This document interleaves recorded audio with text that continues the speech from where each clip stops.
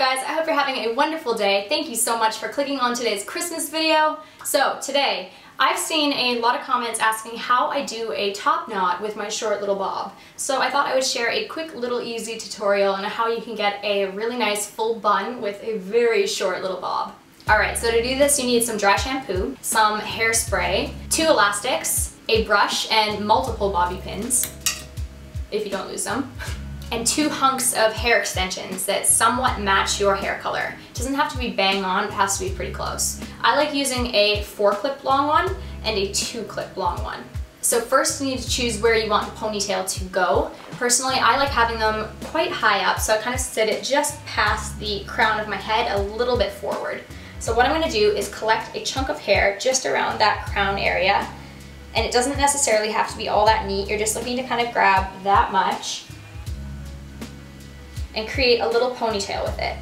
You could also use a tinier elastic, but I didn't have any, and this is all I had. So I have my little sprout pony on the top of my head, and just make sure that you kind of adjust it to where you want it. I'm gonna take a little bit of dry shampoo in my hands, or if you have a spray or dry shampoo, you can just spray directly onto your head.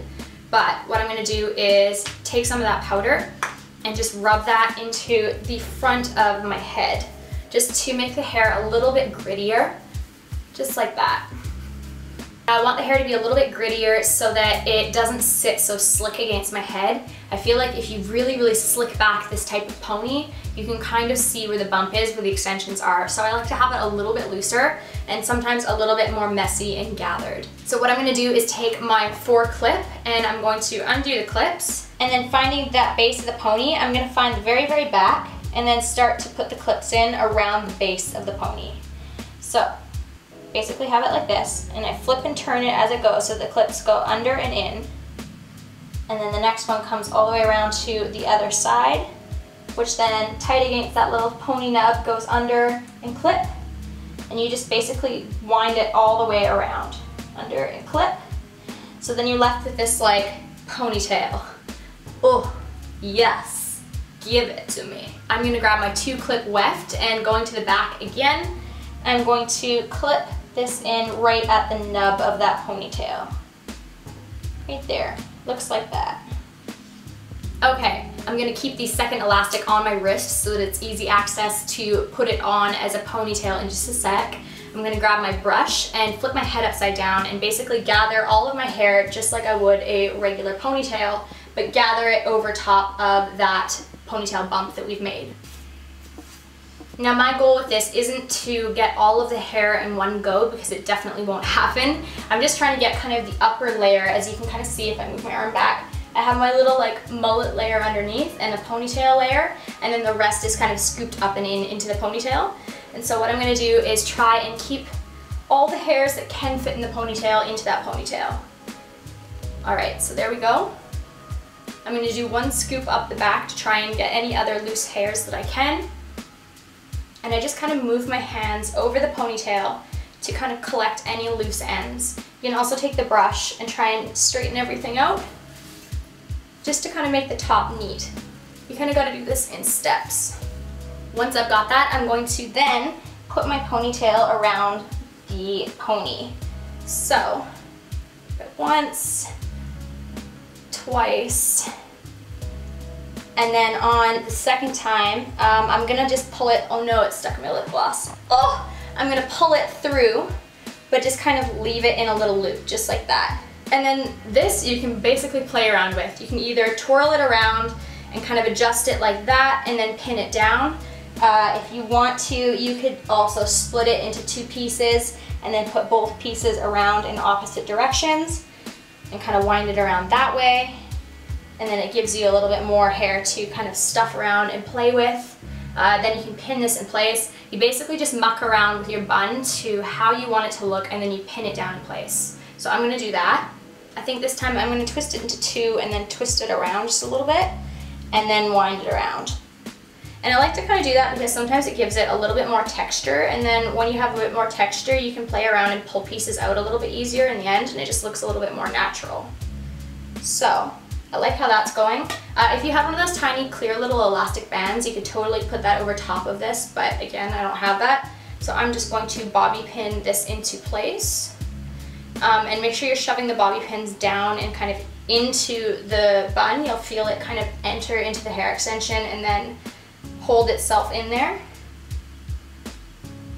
And I like to use multiple bobby pins just to make sure that everything is completely in place.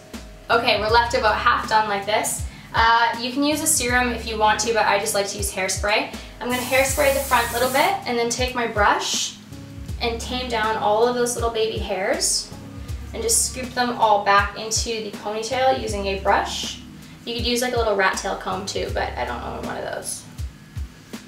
I'm gonna also spray it onto my fingers and then just use that to kind of comb back my little baby hairs.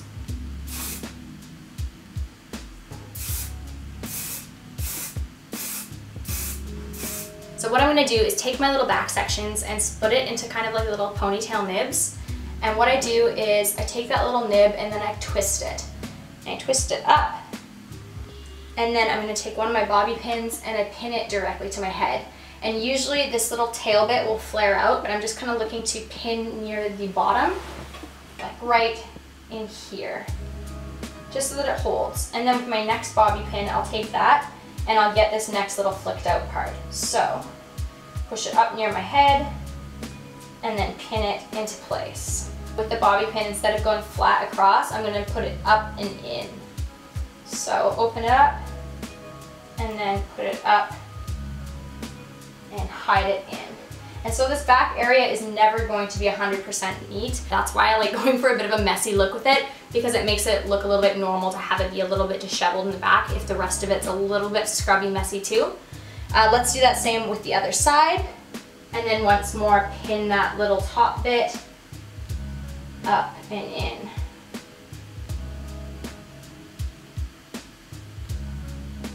And then once you have the main pins in, you can chuck any extra little pins in to catch any of the flyaways or fallouts. Like I said, nothing is going to be 100% perfect up the back. It's just, that's just what you get for having short hair. But by twisting it, it kind of keeps the hairs somewhat more in place than if you were to just try and flip it and pin it. So that's my little tip. But I'm gonna do uh, a little bit of hairspray in the back, spray it, and then try and keep those little baby hairs at least somewhat plastered up. And then once you've hairsprayed, that is pretty much it. You have your hair up in a bun. You can kind of adjust your bun as you see fit. Sometimes I like to make mine fluffy and huge. Sometimes I like to make mine more like twisted and intertwined. Totally up to the style that you want to do. I'm going to stick with my messy, messy bun today. Um, if I had another bobby pin, I'd probably bobby pin this down but I ran out of bobby pins. I love this. I think it is such an easy thing to do and it just gives you another option with your look. Sometimes you can get frustrated when you've cut your hair short that you just don't have the option of putting your hair up again, but this definitely is super simple and I really recommend you guys try it. I hope that you guys enjoyed today's video. Please don't forget to give it a thumbs up if you did enjoy and leave me a comment down below if there's any content that you guys would like to see over Christmas. Thank you again for watching my video and I will see you tomorrow. Bye!